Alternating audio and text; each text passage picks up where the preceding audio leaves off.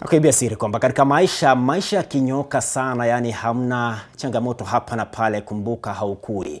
Mtu anakuwa ama mwanadamu anakuwa na kupiga hatua wakati anakumbana na changamoto. Niite mwanaspoti niridhike zaidi, mimi nawe tena kutiana kwenye mboni, itakuwa ni ndani ya Mikeke Mikeke saa sita dhuhuri Ijumaa. Kwa sasa kuwa na usiku mwanana.